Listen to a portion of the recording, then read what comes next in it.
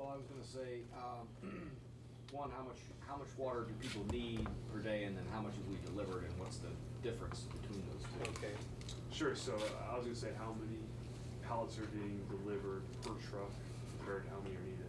okay, What's the time it takes to offload all the pallets off of one truck? okay, We put a amount of gasoline used on the whole vehicle.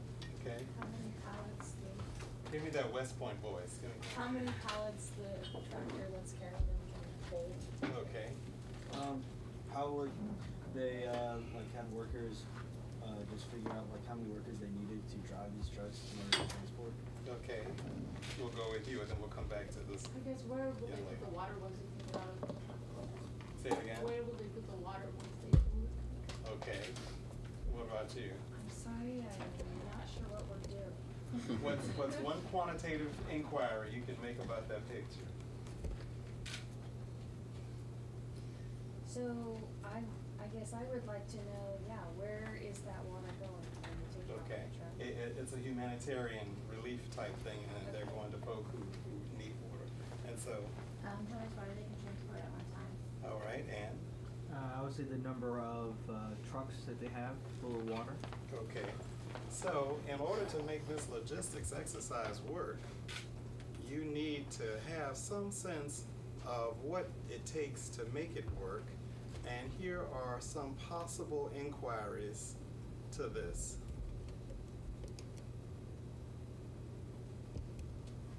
All right. How many people do you need for this type of mission? I think I heard somebody say that. How much time do you need? How much fuel do you need? How many pallets do you need? How much weight can each pallet hold? Uh, how much staging area do you need? Uh, what's the average time it takes to load the water pa- packets to the pallets? How much shrink wrap paper do you need? All of these are really logistics questions, but they're more than logistics questions because they're math questions. And when you understand that everything that you do has some sense of quantity associated with it, if you're doing it for a purpose and you're operating in a system where you have to manage resources, then that convoluted stuff that Dr. Ivy waves his hands about to the, to the cadets mm-hmm. really becomes very important, just like this morning when he was talking about when did two vectors collide, all right? So, my talk to you today for a few minutes is what do you see when you see math? Because we see lots of equations, we see lots of equal signs, you see all kinds of terminology, notation, formula, summary, and hopefully you see interpretation. Hopefully you see that. But uh, when you look at this picture, somebody, tell me what you see very quick. Give me three things, and don't, I hope you don't, didn't notice that I had to go through it again. So, what do you see? An Abstract face or something? You see an abstract face? All right, what else do you see? Scottish guy. See a Scottish guy? Okay, what else do you see? An old lady? What else do you see? A young one too. A young one too? All right, so, uh, do you see the old man? All right, and there is his nose and his mustache. And do you see the old woman? And there is her nose, her lips, and her chin, and her uh, scarf around her, and her beret. All right, do you see the young woman? And there she is. That's her bang, and that's her ear, and that's her hair, and that perhaps is a necklace. That's her chin, much different than the old lady's chin. All right, that's her nose and that's her eyes. All right, and there's the, the young woman. All right. Well, hopefully, what you saw was you saw you saw a trend of behavior, you saw a comparison of behaviors, you saw relationship of behaviors, and you saw longevity of behavior. Because whenever you study a system, you are a behavioral scientist because again you study the behavior of that system and you study things like frequency of behavior, intensity of behavior, duration or longevity of behavior, effectiveness of behavior, that little U word, uncertainty of behavior. You study the relationships of behavior. You study the uh, efficiency of behavior. When you look here, what do you see when you see these pictures? Tell me what you see. And I do wish there were more here. because I've already taught, uh, Major Collins, all right? But what do you see when you look at that picture? Tell me what you see. Yes, that's Beyonce, and that's, uh, Dr. Harrison B. Wilson's grandson from Norfolk, Virginia there, all right? Seems like people and systems. All right, okay, okay. And Beyonce is indeed a system, all right? Okay, just like, uh, Matthew McConaughey and Meryl Streep, they're all systems, all right? So again, what do you see? You see something, you don't just see airplanes lined up or vehicles lined up or a school teacher over there or this. What do you see? Well, this is what I see. Almost. I see all of this happen because all of that has an impact on all of that. That baseball is physics and calculus, that football is physics and calculus. Uh, that school teacher is not so much physics and calculus perhaps, but is management process. Because when you think about a school, the first thing that you think about is the child, the classroom, the teacher, the desk, the book.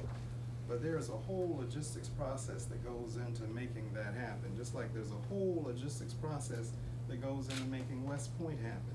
I mean, I just had the privilege to go over to the cab, to, the dining hall and watch them feed forty-three hundred plus so, uh, uh, uh, students in fifteen minutes or so or less, or whatever the ridiculous time is. It would take me that long just to figure out, man, do I want, this kind of dressing on it, or do I want that kind of dressing on it, or, you know, by that, by that time the lunch is over with, so I don't know that that would happen. But, uh, I see all of these things, and by the way, these are all the things that we teach where I am. I teach operations research at Fort Lee at the Army Logistics University. And in order for you to understand all of these things, you have to understand some uh, ethics, all right? Because you don't talk about uh, probability and statistics anymore. You, you talk about analytics, and you talk about uh, data analytics, and you talk about stochastic analytics, and predictive, prescriptive, and descriptive analytics. And these are all parts of that. And here are all the ethics right here. And we teach all of those, and all of those things help answer questions. For instance, uh, at least we've got one, two, three, four students here. So do you just stay in the library until midnight on Friday?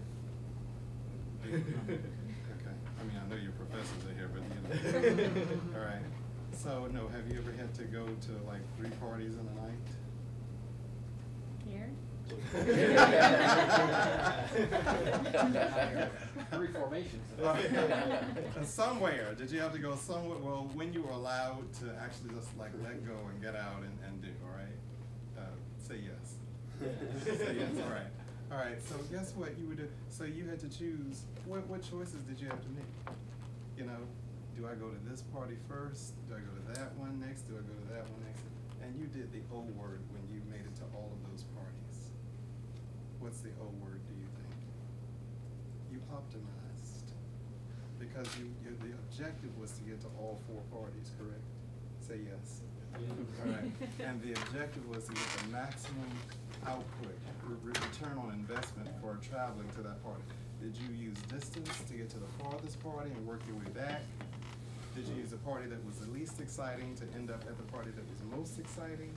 Or did you end up, uh, you know, using some other metric? Which one was it? It was something like that. So, anyway, there you are with pre, prescriptive analytics. Because what does the word prescript mean anyway?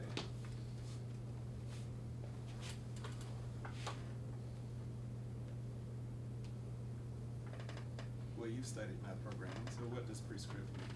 Well, if I'm looking at descriptive, it tells you something about, it describes something, prescriptive. Pre, prescribes, it's, it says, here, here's, here's the, uh, here's the medication that you need in order to get the best out of this. I mean, when you get a prescription, you get three hundred milligrams of this versus two hundred fifty versus five hundred. Why? Because it is the best, given the constraints under which you have to operate? So, there are all of these different analytics, and that is your new buzzword. When you do your resume now, don't put statistician, or I'm changing mine. just put data scientist and data analytics, all right? And this is what I see. When I look at these pictures back here, look at these pictures again. And look at that picture right there. Look at that picture right there. Get a good look at that picture. That's everything that I see and maybe then some. All right, everything from planning, programming, budgeting, and execution to uh, information management systems, to uh, marketing and advertising, to graphic, fashion, and interior design. Your uniform, as exciting as it, as it is to look at, is a function of, of this right here, uh, graphic, fashion, and interior design. I mean, there's a reason that it looks that way? And being in the military is more than your going into battle. Because there are two armies. This is the military academy for the army. So there are two armies. And the two armies are the operational army and the institutional army. And the operational army is what you see in Iraq and Afghanistan and all that, those who put themselves in harm's way so that we can all sit here and not have to worry about putting ourselves in harm's way. But guess what? There's also the institutional army. And the institutional army is that whole network of support that provides everything so that the tip of the spear can function properly and so that the holder of the tip of the spear can function. And guess what? Those aren't my words. Those words come right off of the uh, Army website. That there is the institutional army and there's the operational army. And then it goes on to say, without the institutional army, the operational army cannot function. And without the operational army, the institutional army has no purpose for being. So when they do work together, very good things happen. Defense occurs and optimal and well-managed defense occurs. So uh, do look that up. When it comes to, to grant writing and, and acquisitions, all the new materiel that you all see, I mean, even down to Mathematica that you use to teach with, that's part of grant writing and acquisitions. Because in the military, you have this thing called JCIDS, and I don't know if, how far you all go into uh, what JCIDS is all about, or all the acronyms that are in the institutional army. But those who are the teachers, what is JCIDS?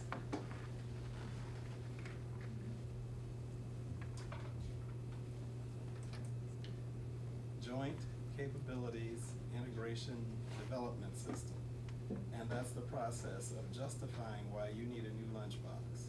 All right, instead of using a paper bag, no, I need a new lunchbox. I need a Batman, Spider-Man uh, lunchbox. Because why? It has these key performance indicators that help accomplish the mission. And well, can you do this any other kind of way? No, it's gotta be this lunchbox. Well, what size does it have to be? It has to be this size. It has to have a water jug that will fit, that looks just like hers right there, all right? And it has to hold that much water because there's a scientific reason why it holds that much water and not an ounce more nor one ounce less, right? And that's what JCIDS is all about.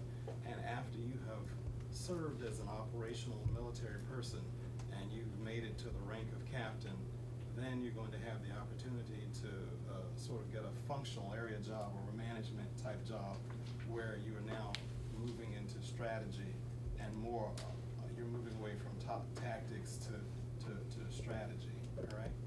So these are all these kinds of things, all right? Well, this is what excites Dr. Ivy, all right? All this stuff right here. And, uh, you know, when I look at those photos, this is what I see, all right? And this is with or without Mathematica, this is with or without anything, all right? As a matter of fact, what I'll do is, I'll take a moment.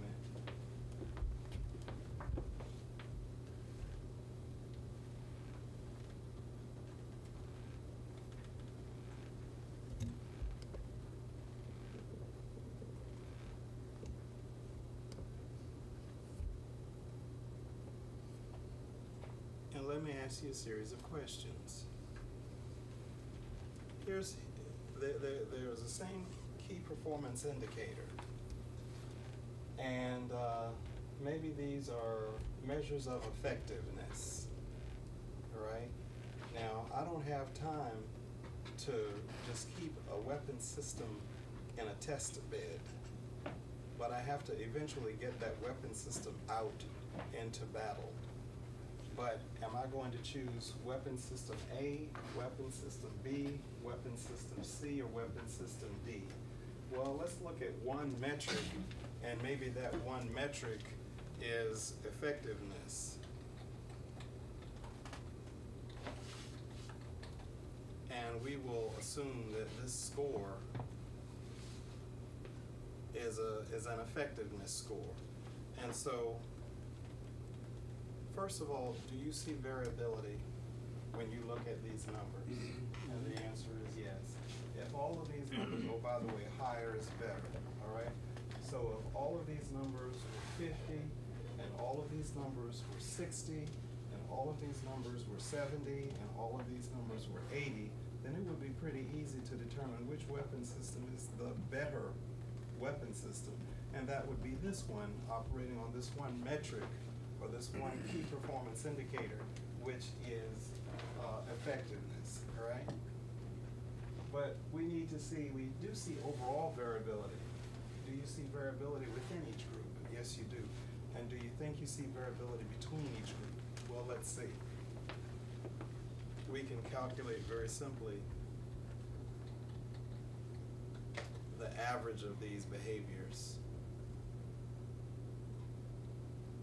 And so we see that this one has an average performance of 42, 35, 46, and 47.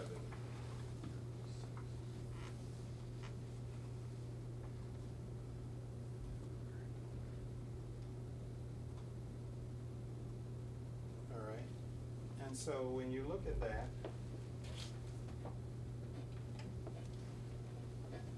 do you see variability between each group? Mm-hmm. And the answer is yes, you do.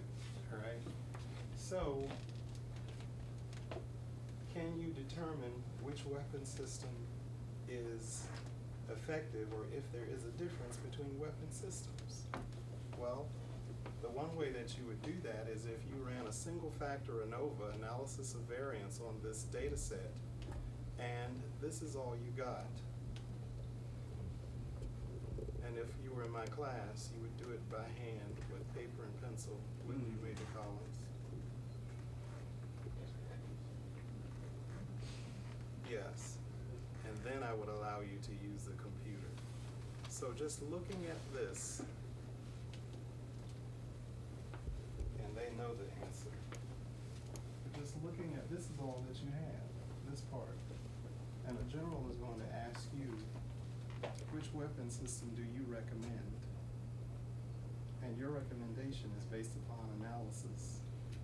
And so, which recommendation, uh, well, first of all, is there a difference when you look at all of these numbers right here? Is there a difference in, per- in performance of these weapon systems? Yes. And I heard a yes, and I wanted to hear a yes from one of the folk in black.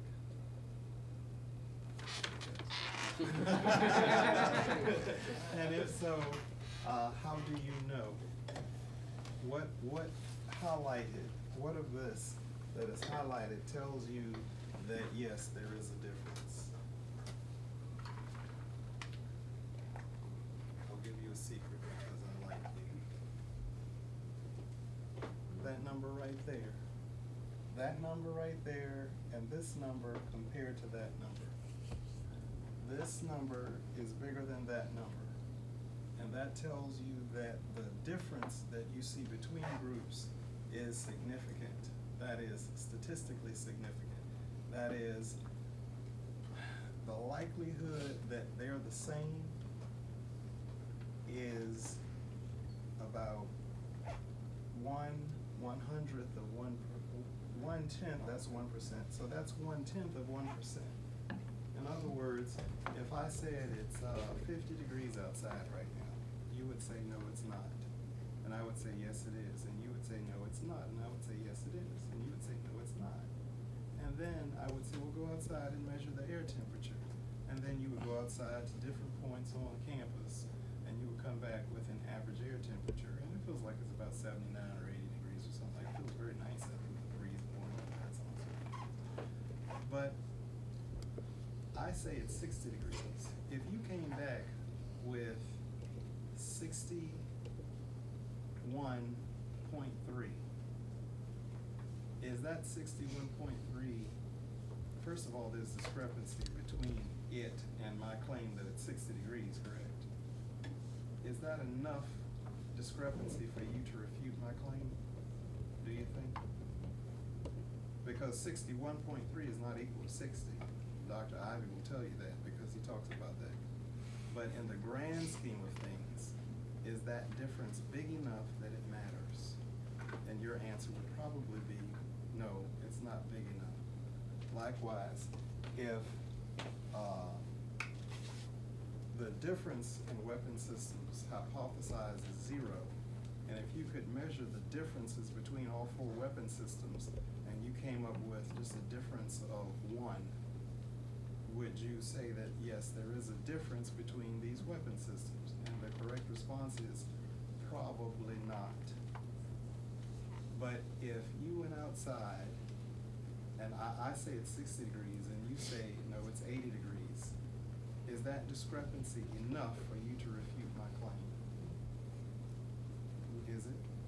Because I say it's sixty degrees outside, and you went outside and you actually observed the behavior of the air temperature, and you went to twenty different points on campus, and each time you went to those points, you came back with measurements like 78.6, 79.4, 80.3, 81.3, 85 point something, which gave you an average reading of maybe seventy-nine point five degrees, but what did I claim? Sixty. So is that discrepancy enough for you to say I have a problem with your claim that it's sixty degrees? Yes, and that's the correct response, that's what I wanted you to say, yes, so say yes. Yes. Good, all right, and tap him so he can say yes. All right, so say yes, all right.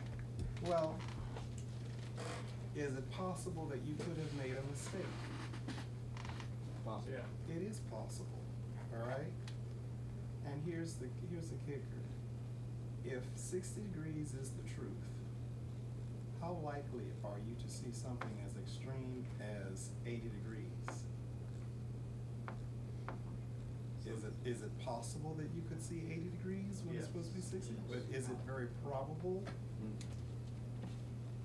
That's what that is. When you do hypothesis testing in statistics, and you say the null hypothesis says these four weapon systems are the same in terms of effectiveness. The alternative hypothesis says these four weapon systems are not the same in terms of, hypo- of, of effectiveness. Then you put some level of rejection there, alpha equals 0.05, which says two things. It says, I will reject the null five percent of the time. I'm willing to make a mistake five percent of the time. And also, if I see behavior that has such an extreme response, that the likelihood of my seeing that response is less than five percent, then I'm going to reject the null hypothesis. And so you see this number right here, two point seven nine eight? Well, look at this number right here, five hundred twenty-nine, and look at this number, seventy-eight point four nine. Now remember, you are recommending somebody, you making a recommendation, all right? It's not just a math class where you're gonna get ten extra points, you're actually using this to make a recommendation, right? And since you're using this to make a recommendation, then you need to know what each of these numbers means in terms of these numbers up here. So, when you see variability in behavior, what question do you ask? It has three letters. Why? Why? All right? And you know what? There are only two responses to that. You know what they are? Variability happens because of everything that you do know and everything that you don't know. Everything that you can account for and everything that you can't account for. And that's why you have this thing called between group variability and within group variability. And with between group variability, that's sort of explaining what's unique about it that you can attribute to why that happened. And that's called special cause. all right? You got on a red top, you got on a black top, so there's a difference, all right, uh, for whatever reason. You see this right here? That's everything that you can account for, all right? Now, this is sort of the average amount that you can account for, and this is sort of the average amount that you can account for. Now, you see this number right here, six point seven five? There is observedly six point seven times as much variability that you can account for versus what you can't account for. That's what that number is. And is that number a big deal? The number is a big deal because it's bigger than this number. And this number right here says, eh, if I see if I see a ratio of explainable behavior to unexplainable behavior that's just about two point seven times, then that's not gonna cause me to have heartache.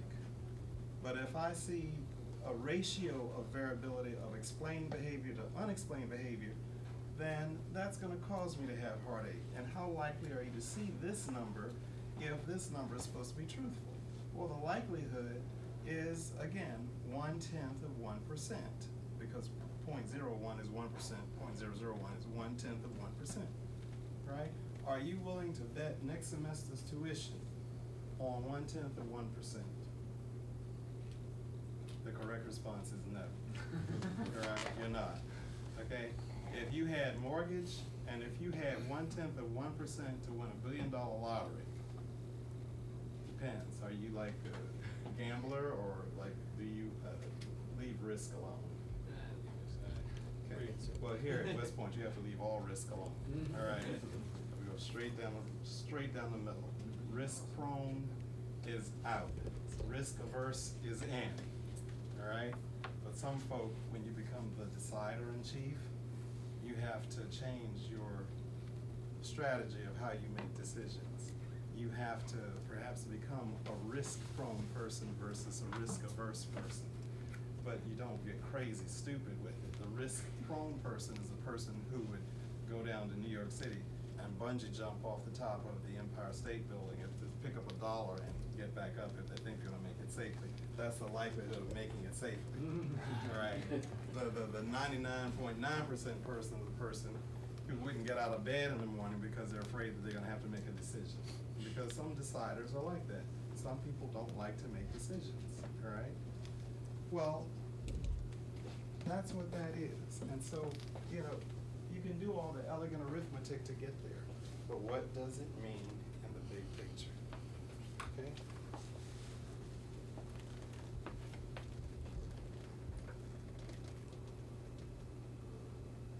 So, when I see this, I see more of data science, and I see that. What's Dr. that? Lewis, Mm-hmm. question. Mm-hmm. So you, you had the parameter of effectiveness, Yes. and of course, we can continue to add parameters to determine, uh, the, the adequacy of,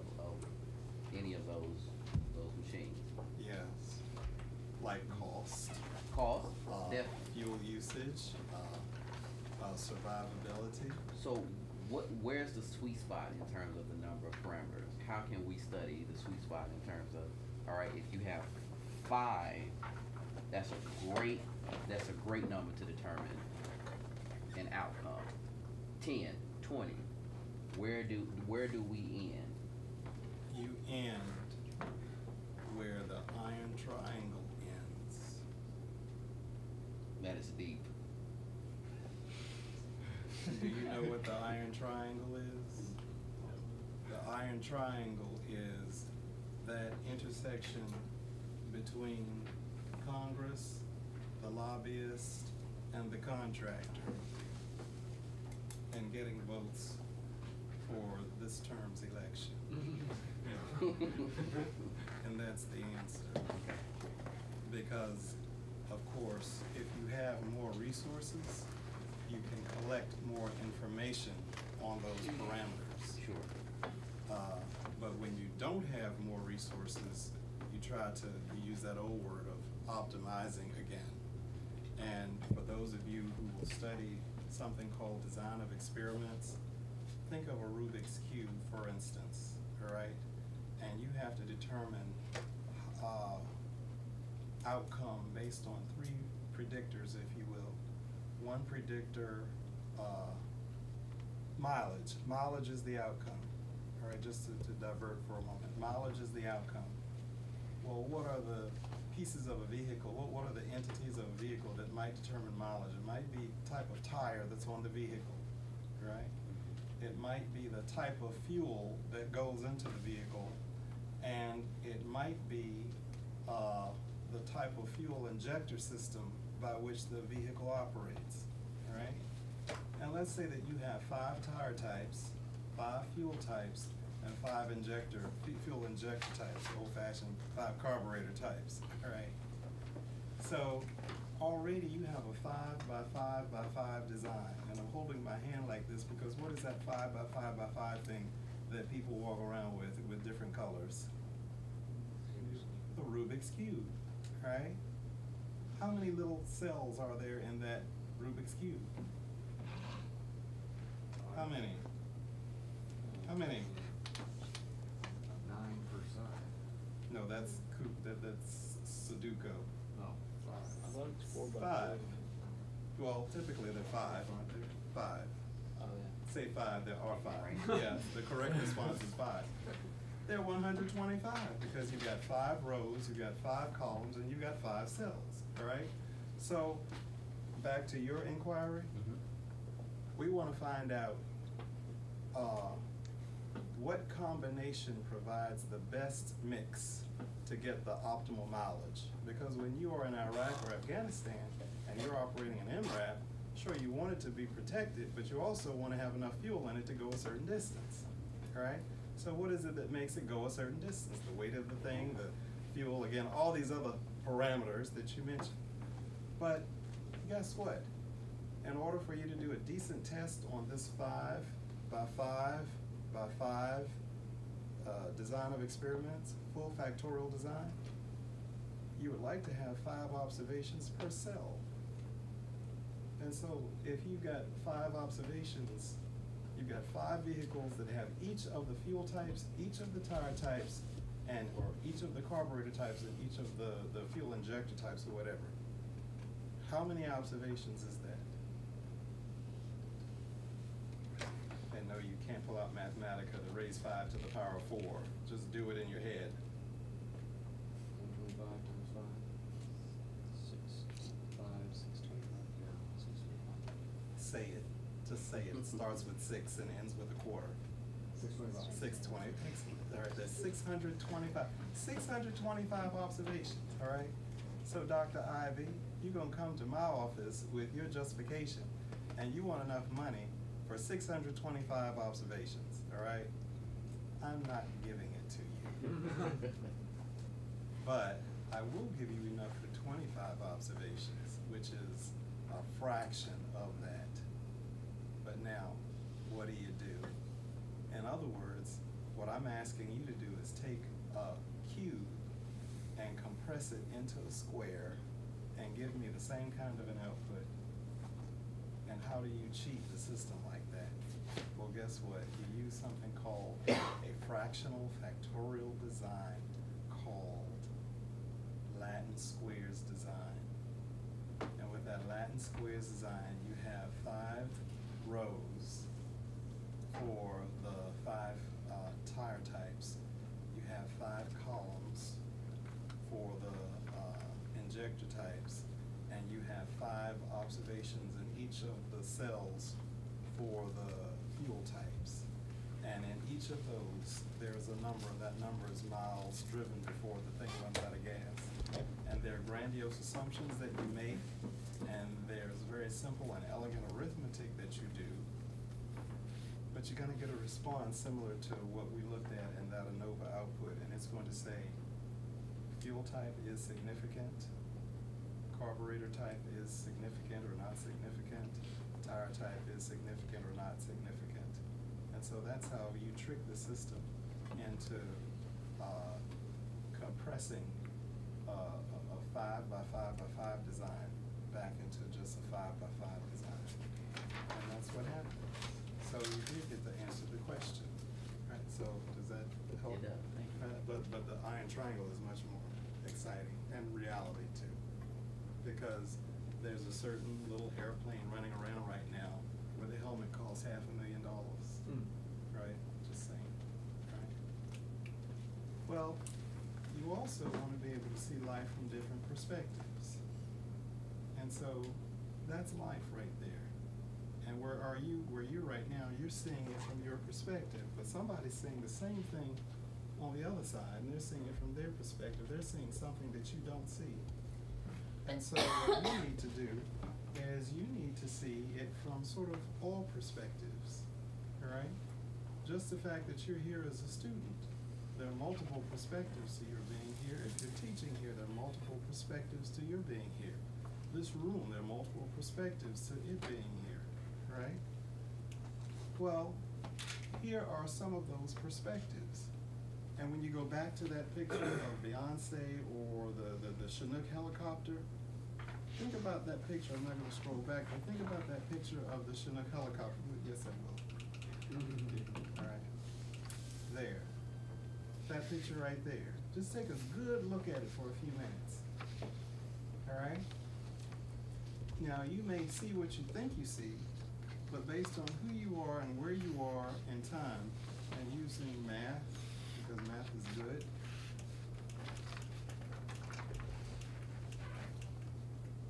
You see all of these things in that picture with the Chinook helicopter. You have to, otherwise, those people who are going aboard that helicopter may go up in the air alive and they may not come back down alive. For instance, when it comes back to uh, looking at uh, design of experiments and all that sort of thing and the iron triangle, have any of you ever heard of a Bell Jet helicopter?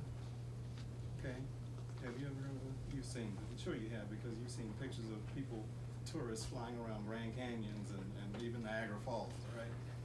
Well, from what I understand, because I'm not a helicopter kind of guy, so from what I understand, the Bell Jet helicopter has a unique characteristic about it. And the unique characteristic about the Bell Jet helicopter is that the gas tanks are right there along the backside of it, and they're not self-sealable. However, the military helicopters all have fuel tanks that are self-sealable. That is, if they crash, they will, there's some kind of trick mechanism that causes them to shut completely down so that that fuel doesn't explode out, right? Well, on this one particular situation, and I know because I just came from the story of it when I was teaching in uh, uh, Kirtland Air Force Base in New Mexico last week. And there was a student there, and I was talking about stuff in general, and I was talking about air and sort of air disasters. And later on, uh, he told me that his adult daughter died in a helicopter situation. She was a medic aboard, not a military medic, but she, a civilian type medic who was into med flighting. She was a nurse, and she would med flight people.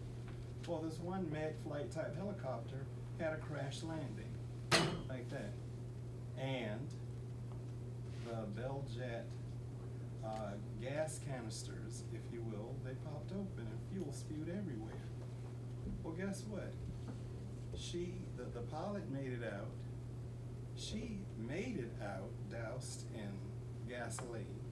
And another person made it out. The pass, the, the patient didn't make it out. But she was about as far away from the helicopter as maybe that door. But then there was a spark of fire. Uh, Do I need to finish the rest of the story? And there was no more daughter. Hmm. All right. And there's a FAA issue with sealable uh, things, for sealable gas containers for helicopters. And the ones for the military are certainly well protected, but the ones not, they're not. And so, why is that? Because you can certainly do his physics and his, his, his numerical analysis to demonstrate the rate at which the fuel would spew upon impact and the rate at which the fire would travel if, if that spark ignites. He can do all that kind of stuff, but the bottom line is that somebody was not careful. And now this man doesn't have a daughter anymore, right? And that may seem like a hard and crude thing, but that's the reality of it. When you all were in Iraq and you had your MRAP vehicles, was the suspension enough to fit all the heavy metal that was put on the doors? You know, and th- so there you are with your numerical analysis. I mean, you've got suspension that would support a minivan, but you've got enough metal on it Mhm.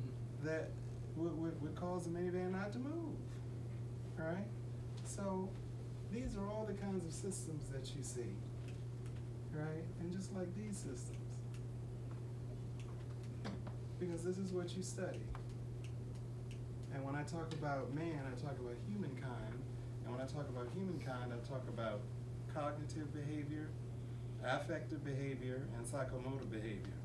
And right here at West Point, I want all of you to be balanced in terms of cognitive behavior, how well you think and process information, affective behavior, your honorability, and psychomotor behavior, how well you can run up to the top of Bear Mountain and back in two minutes, all right, with a hundred pound rucksack on you, all right? Do you all do the rucksack thing? Do you all have to do that? And, all right, and is it like twice your weight or just a basic one hundred pounds or what? How much is your rucksack? Uh, minimum thirty-five, most I've ever had is, I think, fifty-five, sir. Is seventy or fifty-five? No, fifty-five is the most I've ever had, and, and how much was your rucksack? Depends on where, perspective. Is a Okay. cadet here, two hundred pounds is a joke. Two hundred pounds. Really? No. No. All right, but a hundred pounds is normal. Can you carry a hundred pounds, Cadet Ambrose? Right now, probably not. Okay, what about you, Cadet Parker? I've never tried, so. Is it Ku- Kumi? Yes, sir. Can you carry a hundred pound pound ruck- rucksack on your back? Yes, sir. Okay, of course. Good, good response. I could carry a three hundred pounder, but I'm a tanker, so I just stick it in the bustle rack. Alright, I deliberately put this picture here because when you talk about operations research, which is what I teach, everything that you do is an operation. And every operation deserves to be researched so that it can be handled efficiently. And when you look at warfare systems versus educational systems, you have the same three things. You have logistics footprint in a schoolhouse, just like you do in a military environment. You have organizational structure in a schoolhouse, just like you do in an in a military organization. And you have weapon systems design in a schoolhouse, just like you do in a military environment. It's just that the weapon systems design in the schoolhouse is the curriculum. Because you determine, you, you design the curriculum, you launch the curriculum, and you hope it destroys the target of ignorance. All right? Same thing. All right? But uh, operations research is just that it's the study of systems, resources, et cetera, et cetera. And this is why it matters. It matters because when a system is working properly, we are in a state of bliss. But if you're smart and proactive, you work what? To keep it going. I mean, you did, how many push-ups did you do this morning? Um, I didn't do any this morning, but my last APFT I did fifty-two. Okay, all right, that's good. And so you're in a blissful state. Is fifty-two a good number? For me, For, yes. for you? Okay. And what about you? And what about you? How many can I do in an APFT? Yeah. Seventy-nine. Seventy-nine. Very good, all right. But every now and then, you know, you, you study patterns, trends mathematically, all right? Well, what are the things that can impact output or mission accomplishment? Well, here are all those things that can impact mission accomplishment. We went over those. We went over, well, we didn't go over those, but they are, aren't they? Doctrine, organizational structure, uh, training, materiel, and by the way, that AMSA, that's the Army Materiel Systems Analysis Agency for activity, one of the two. Leadership and activity, personnel, facilities, and then there's another P under there called policy. And then you got this. You all have talked about METTC, haven't they? Would they have talked about METTC? Those are all the things that impact outcome. And just for the Air Force, they're not here, but for the Army, G one, G two, G three, G four, G five, G six, you've discussed Army, Army, uh, organization, haven't you? Would they have? Okay. All right. And then there are those constraints. These are constraints right here. But every now and then something bad happens with systems and things go wrong and shift happens. All right? And that's the correct spelling of shift. The F is lowercase, subscripted, silent. All right? Everything else is what it is. All right? And uh, here's some examples of when shift happens. All right? Shift happened right there because somebody didn't uh, Mm. load something correctly on that cargo jet. All right? And just like a washing machine, shift has, sometimes shift is natural, sometimes shift is man-made, all right? So, I don't have time to go through all of these, but I just want you to know that everything that you do is behavioral research. And everything that you study in terms of behavioral research is one of these characteristics, one of these categorical characteristics, all right? And you call it FIDEAR, frequency of behavior, intensity of behavior, duration or longevity of behavior, effectiveness of behavior, uncertainty of behavior, relationships of subparts of behavior, and, uh, all that sort of? And so somebody who knows how to handle that is who you would go to, and somebody who can, uh, have that right there. Six Sigma, just in case you didn't see that. Right? So, we hire you to be the problem solver. And here's the problem and here's the solver. All right? And you ask these questions. These are my thirteen baker's dozen questions. And that's sort of what they're all about. Is it, what's the problem? Is it really a problem? Do you really wanna solve it? Because guess what you'll learn, I'll share a little secret with you, those of you who are the students. Some people really don't wanna solve a problem, they just enjoy sustaining the chaos of it instead of removing it. Because if they remove the problem, maybe they remove themselves, alright? Uh, but after that, then what is the current state of nature? The what ifs? The what's most likely? The what's the best? The what's the cost? The what's the truth? The what's the so what? What's the value added of your having done this? And the who cares? Well, you know what the biggest who cares is these days in the military? Wounded warrior, sexual harassment, suicide, all right, all that sort of thing.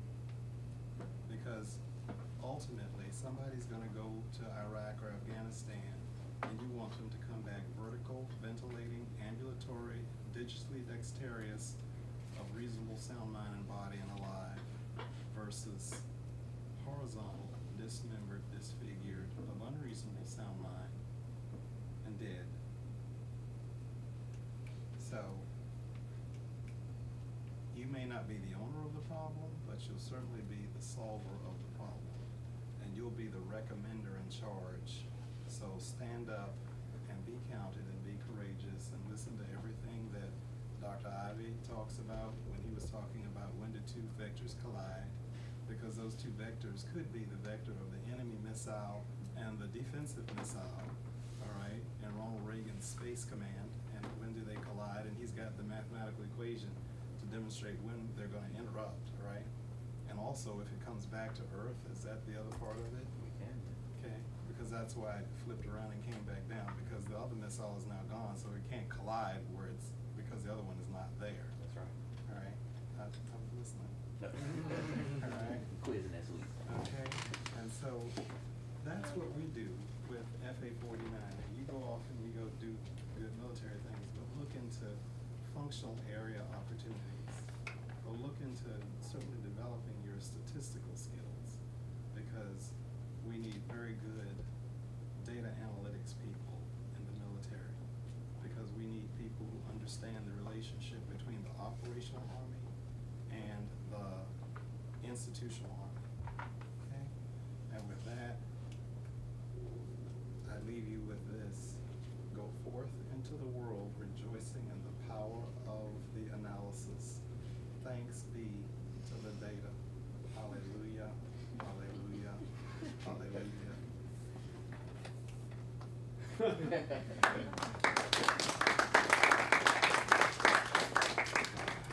Well, I, we have time for a- probably one question, if you guys have any. Yes. I do- So, so, based on your experience as an instructor at ALU, where do you think the fine line is for ORSAs to originate from? Do you like, do you prefer the ORSA mo- or the Air Force model, where they come in as second lieutenants and, uh, are brand new ORSAs, or do you like the Army's model, where they come in as mid-grade captains, seen Operation Army, and are transferred into functional Air Force units?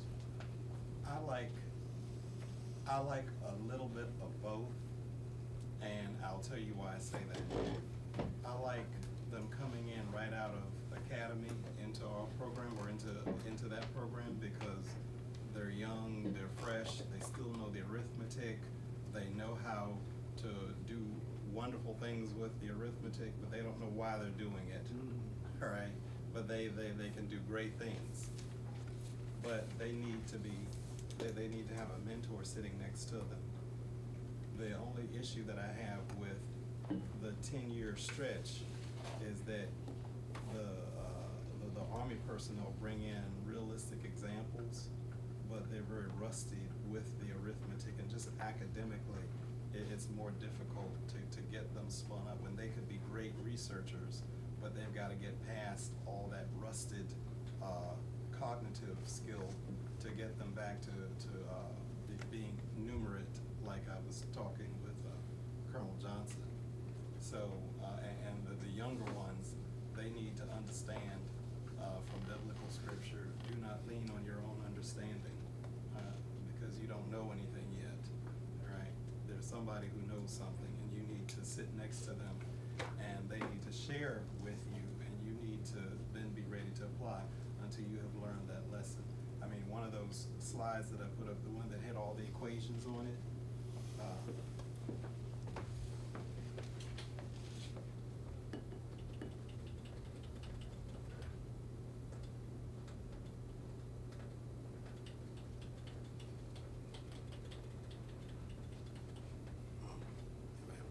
All right. You see this equation right here?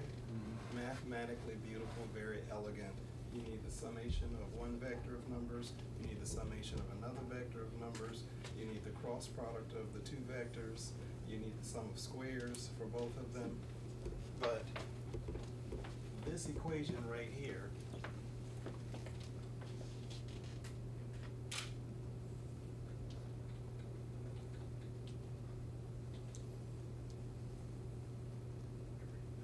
relates to the picture on the right. All that beautiful math that related to this picture on the map. You know why? Because the colder the air temperature is, the more brittle an O-ring becomes. And you can measure brittleness of an O-ring until that O-ring breaks and then fuel leaks out.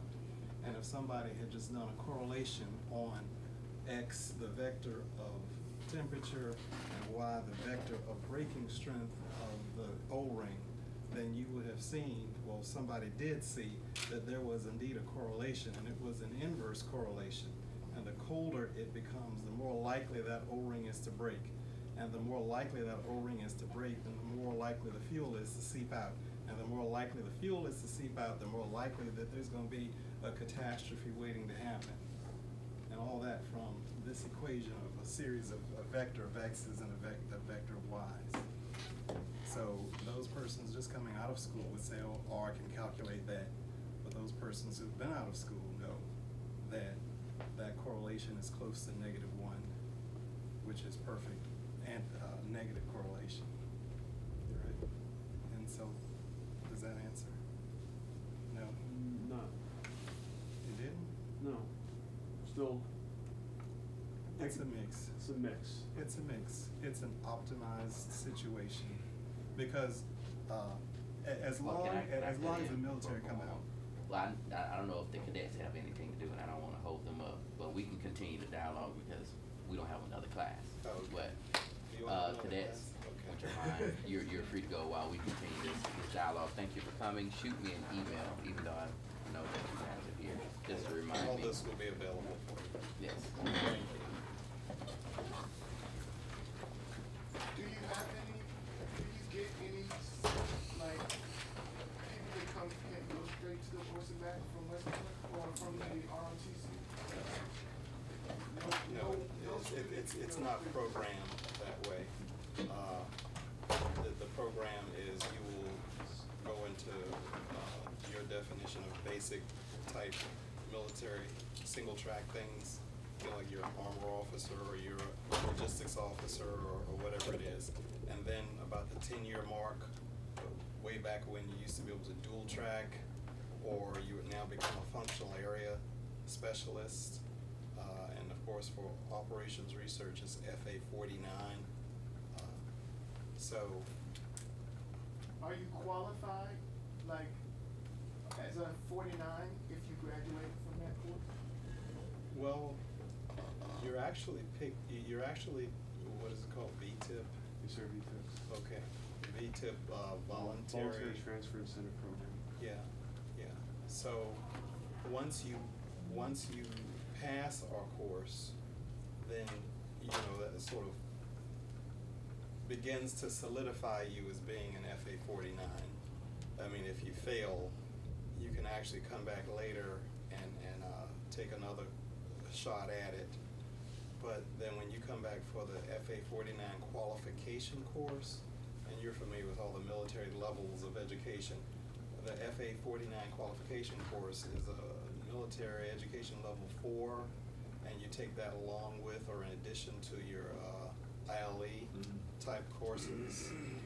And you're supposed to pass that to qualify you to be a study leader. And if you wanna get from major to lieutenant colonel, then you have to take our FA forty-nine qualification course. But there are some pass arounds still in place, because everybody who's an ORSA FA forty-nine does not, uh, uh, take our course. There, more and more are coming in to take it now, but they're not necessarily, there's still others who have not taken it. Um, so this is ORSA MAC we're talking about. This is ORSA MAC, yeah. So how much, uh, has there been a transition to, free off-the-shelf type software as opposed to Excel, so like R or other? We have access to R now, mm-hmm. but we don't have access to R Studio. Are you familiar with the Rs? Do you use it? Are you an R, but not R Studio. Okay, and R Studio is not available to us at Fort Lee because of net worthiness documentation and all that sort of thing.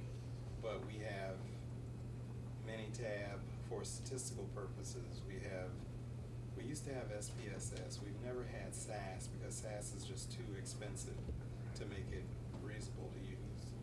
But even now, we're having some problems with uh, Excel, and, and I'll show you what I mean. If you saw me click on data and then data analysis, well, right there, for a while, we couldn't even use that because that's a macro-driven type thing. And there were these, there was this policy about You can't- downloading. You can't enable macros in the Yeah. government system. Yeah, and so we had, I mean, this is what we used to teach with. So, but we couldn't use it, so we had to go into battle with DOIM or, or Net, whatever it's called now, it's not called DOIM anymore. But the, but the G six office, the, the Fort Lee equivalent G six office, and they're just doing what they're told to do by bigger G six offices, you know? So there is though a transition to try to utilize more Oh, sure. power, computing power that exists, sure. as opposed to even Excel, which can be, there's some limiting factors to Excel, I Sure. I think. Well, for instance, uh, if you're familiar with Solver, Yeah, sure. all right? There's Solver in Excel, but then there's something called Premium Solver, all right? Well, for the longest time, we used Premium Solver because when the students did their uh, capstone exercises, they had like hundreds of, of constraints eh, that required Premium Solver. Well, now we can't use, we have to fight to be allowed to use Premium Solver. And so. Solver has a minimum or maximum of Yes, some constraint variables. yes, yes. And I'm not the one who teaches the math programming stuff, so, uh, I'm very familiar with all the stats stuff, but I'm not very familiar with all the math programming stuff. And I, I never really understood the appreciation for why something called Premium Solver was needed, but when the students do their capstone exercise, uh, there's a math programming piece of it, and they have like several hundred constraints. Well, there's not enough capability in Excel to use that, and there's something called Open Solver now, uh, but even that has glitches with it, so. And my, my other question was, um, since you're in the statistical realm and it sounds like you do a lot of design experiments stuff as well, um, how closely do you work with acquisition, the acquisition corps, uh, or the acquisition, uh, functional area? Um, or maybe not used directly, but, but the, the forces. Not at all. Not at all. They never asked us. Does the ORSA MAC course award a degree? No, but we do have up to eighteen gradu- graduate credit hours that go with it. It's a fourteen-week course. Uh, we teach probability, statistics, calculus, and, uh, data analysis and modeling spreadsheet stuff. Then in the second phase, sort of, we teach, uh, linear modeling, which includes analysis of variance, design of experiments, and regression analysis, uh, simulation, uh, math programming, and that includes network analysis and, and other kinds of things. Whereas queuing theory is stuck into, it used to be a standalone block, but now it's stuck into uh, simulation. And then we teach decision analysis, cost analysis, combat modeling, and then there's the capstone study. And if you get eighty percent or better, the American Council on Education uh, recommends that uh, that course give you eighteen graduate credit hours that you can negotiate with some university. For instance, Florida Institute of Technology, they will take all eighteen graduate credit hours. Uh, Univers- uh, New Mexico State University at Las Cruces, they will take all eighteen graduate credit hours. So, you know, that's just like twelve graduate credit hours or fifteen or so left over that you have to use to get a master's degree. George Mason up in Northern Virginia, they, they only take about three or six, but of course, you know, university isn't gonna take but so many because they want your dollars for tuition. Does the forty-nine branch recognize the ORSA MAC course as fully qualified? Mm-hmm, yes. Yes, they do. Huh. And we How- use- About how many students per semester?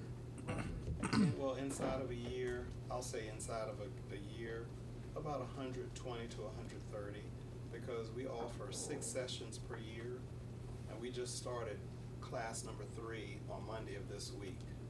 So, uh, there are just about twenty students, give or take a few, but it averages out to just about twenty students per class, so if you think twenty times six, just about hundred twenty students per year. And these are civilians, these are, Oh, okay, so Air all Force. active duty military? No, no, they're, they're not all active duty Um, military. okay, got it, No, they're, it, got it, okay. they're GS fifteen fifteen civilians, or ORSA, s- Mhm. the equivalent. You've got, uh, Army military personnel, you've got Air Force military personnel, you've got Air Force civilians, and you've got, uh, international officers from our allied partner countries. One time, we actually had somebody in from each of the branches. We had Army, Navy, Air Force, and Marines in there. Yep, that, that, that was, that was interesting, all right? And we've actually had a couple of, of enlisteds in there as well, like over the years that I have been there, uh, which is very unusual. And, uh, in that one particular one, we were truly purple. Uh, but everybody doesn't know what we we're not here, our program is not here to supplant an academic program because we don't grant degrees. Ours is to supplement, because we do offer graduate credit that's recognized and that's transferable. Do you get any kind of additional skill identifier or anything on your record you know? Well, actually, you do like the four SVI or some, something like. Did you, No, did sir. you? Okay. It, it's, it counts as military education, so it's under the military education block. Okay. Yeah. But that's about it. All right, well, thank you.